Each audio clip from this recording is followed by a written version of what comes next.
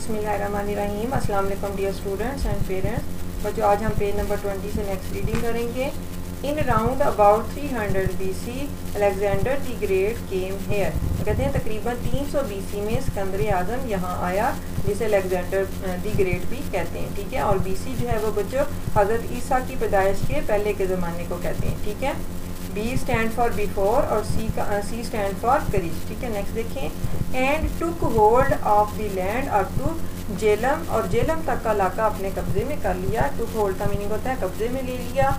Land का meaning होता है ज़मीन। He went back from here फिर वो यहाँ से वापस चला गया। And the Hindus ruled over the rest of the land और बाकी ज़मीन पर हिंदुओं ने हुक्मरानी की। रूल का मीनिंग है हुक्मरानी की। रेस्ट का मीनिंग होता है बाकी। और लैंड का मीनिंग होता है ज़मीन। नेक्स्ट देखें the first Muslim conqueror Mohammad bin Qasim came to this land in 712 AD पहले मुसलमान फाते मोहम्मद बिन कासम फिर 712 एडी में इन इलाकों में आए, ठीक है? और एडी बच्चों, हज़रत ईसा के बाद के ज़माने को कहते हैं। यानी हज़रत ईसा की पैदाइश के जो बाद का ज़माना है, उसे एडी कहते हैं। और हज़रत ईसा की पैदाइश से पहले के ज़माने को बीसी कहते हैं, ठीक है?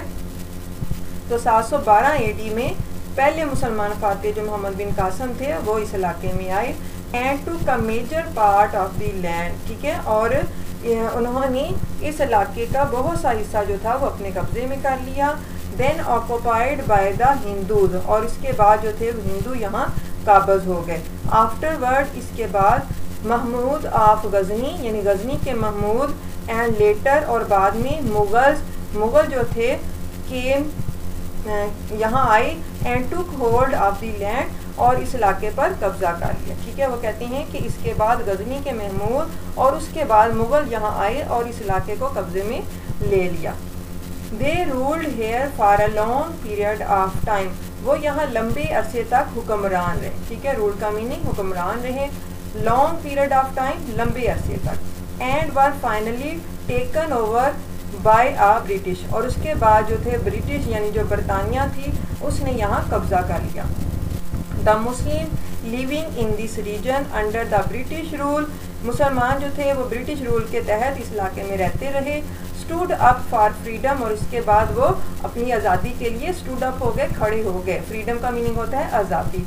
And after great struggle and sacrifice और बहुत सी अजीम कोशों और कुर्बानियों के बाद Pakistan came into existence 14 August 1947 और 14 अगस्त उन्नीस सौ सैंतालीस को पाकिस्तान वजूद में आ गया। ठीक है बच्चों, इसके साथ ही आप क्वेश्चन नंबर थ्री करें।